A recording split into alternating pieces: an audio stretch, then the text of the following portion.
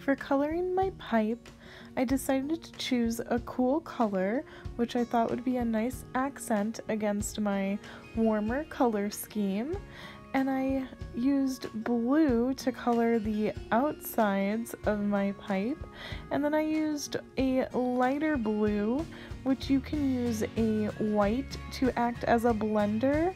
And I colored in a curve motion with close pencil strokes together to blend my blues together and also create that curved motion of the pipe.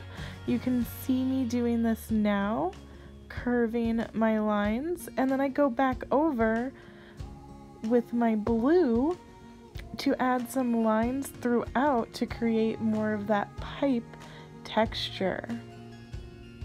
And I can also add blue over this too to make it a little bit more blue if it's looking a little too white. And you can see me do this throughout the rest of my pipe.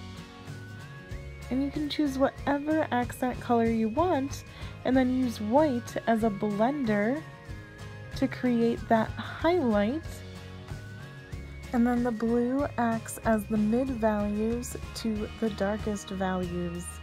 Now you can see that I'm just going over with orange to make some of my reds more red-orange since this is an analogous color scheme. This is an example of a level 2, but you can use this for any other level and I'm just cleaning up my craftsmanship because I want to turn in something that is really neat and nice. Lastly, to create an even greater illusion of space, I'm going to take an eraser below my pipe on the boxes to show a shadow coming from my pipe.